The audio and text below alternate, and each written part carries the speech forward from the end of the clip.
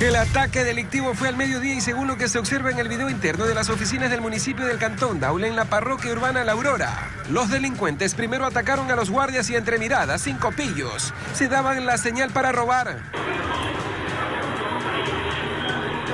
Una vez que se encuentran en el interior, eh, proceden a sustraerle, a retirarles las pertenencias y obviamente a intimidar con armas de fuego.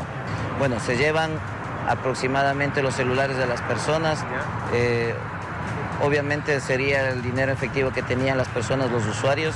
Según la ciudadanía, no es la primera vez que asaltan en esta dependencia pública. El delincuente se hace pasar como usuario para engañar y bajo amenazas y con apoyo de sus compinches. Ven la manera de llevarse todo a lo rápido antes de que llegue la policía.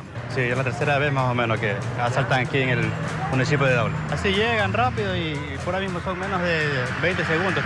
Habiendo guardias aquí todo el día, la verdad no entiendo. Pues se supone que ahora hay más seguridad, hay hasta un PAI atrás, un UPC, pero da lo mismo, pues igual no hay seguridad porque los guardias prefieren ver por su propia seguridad que por la de los usuarios. Según el coronel Ricardo Armas, jefe del distrito La Aurora del Cantón Daule, están tras la pista de los cinco pillos. Con la verificación de las cámaras saben por dónde fugaron, ruta que la investigan para luego capturarlos.